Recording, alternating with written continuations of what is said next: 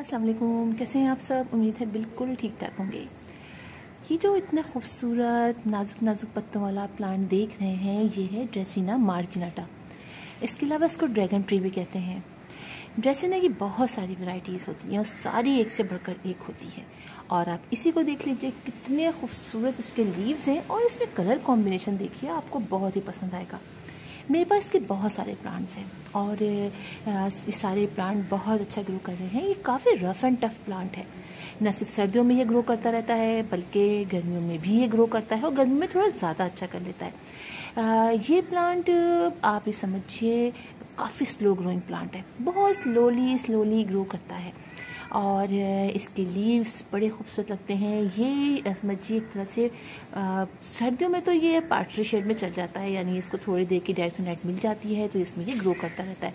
लेकिन गर्मियों में ये डायरेक्ट सनलाइट को बर्दाश्त ज़्यादा नहीं कर पाता।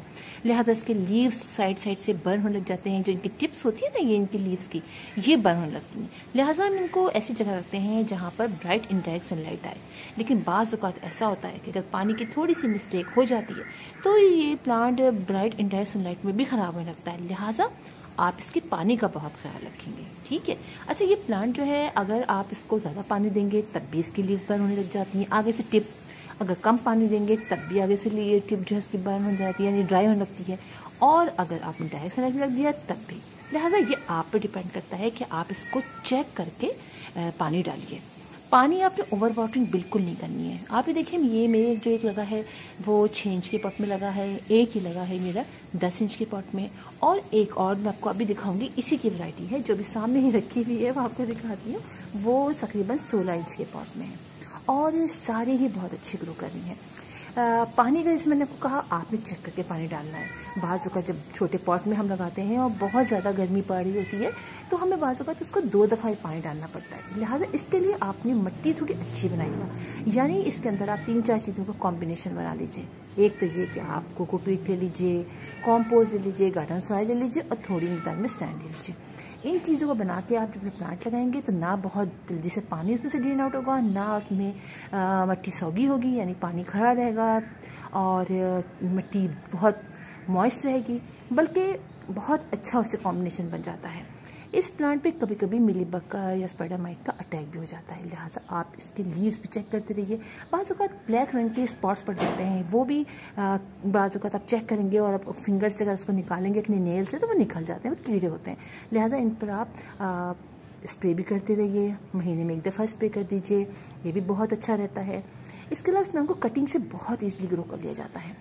आ, आपको मैं दिखाऊँ इससे पहले अपना एक प्लांट देखिए।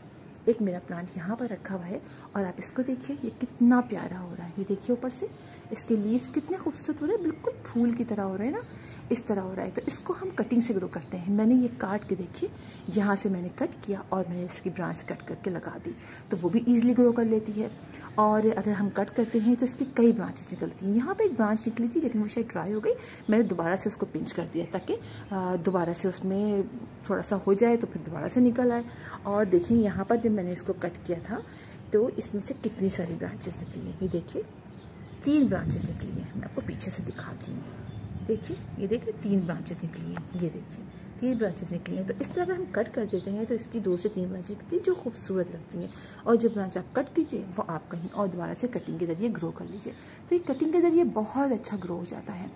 और दूसरी बात ये कि आप इस प्लांट को, जैसे कि मैंने बताया आपको कि अगर आप कटिंग करेंगे तो तेज़ी से ये ग्रो ग्रो तेज़ी ये ब्रांचेज निकालेगा। तो खूबसूरत भी बहुत लगता है जब उसकी ब्रांचेज निकल आती हैं। अच्छा जैसे मैंने कहा फर्टिलाइज़र की बात अगर हम करते हैं तो फर्टिलाइज़र जो है आप अपने प्लांट को, समझिए, वैसे आपने आपने प्लांट लगाया तो आपने इसको फर्टिलाइज कर दिया। फिर महीने में एक दफ़ा आप इसको फर्टिलाइज़र दे दीजिए। बस इस प्लांट के लिए इतना ही बहुत अच्छा रहता है। ये आराम से ग्रो करता रहता है।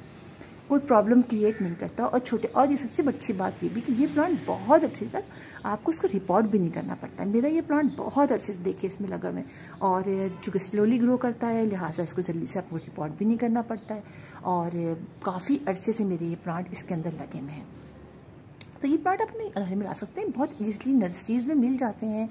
अगर आपके नेबर में या किसी के वहाँ है तो आप उनसे कोई ब्रांच भी ले सकते हैं। वैसे अगर आप जाएँगे नर्सरी से तो मेरा ख्याल है हंड्रेड रुपीज़ के अंदर आपको ये प्लांट मिल जाएगा। बड़ा खूबसूरत प्लांट है। और आजकल के रेट्स तो मुझे बिल्कुल परफेक्ट नहीं पता, लेकिन ख्याल है हंड्रेड हंड्रेड फिफ्टी के अंदर आपको ये प्लांट नर्सरीज में मिल जाएगा। देखने में बहुत प्यारा लगता है। छोटे छोटे पाउचेज में भी मिल जाता है बाजों का लिए तो इस प्लांट को आप इजीली ला सकते हैं। इसकी रूट्स बहुत ज़्यादा नहीं डीप जाती हैं। तभी आप इसके अंदर बहुत सारे प्लांट कोई बड़ा पॉट लें तो उसमें लगा सकते हैं। ऐसे कि आप देखें, मैंने मनी प्लांट लगाया हुआ है।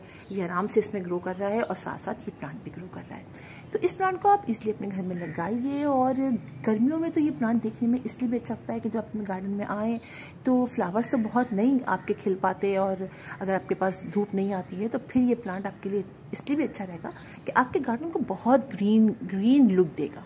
ऊपर से इसके शेड्स जो उसके अंदर होते हैं, वो भी बहुत खूबसूरत लगते हैं। तो फिर इंशाल्लाह आप लोगों से मुलाकात होगी किसी और वीडियो में, किसी टॉपिक के साथ। तब तक के लिए अल्लाह हाफिज़।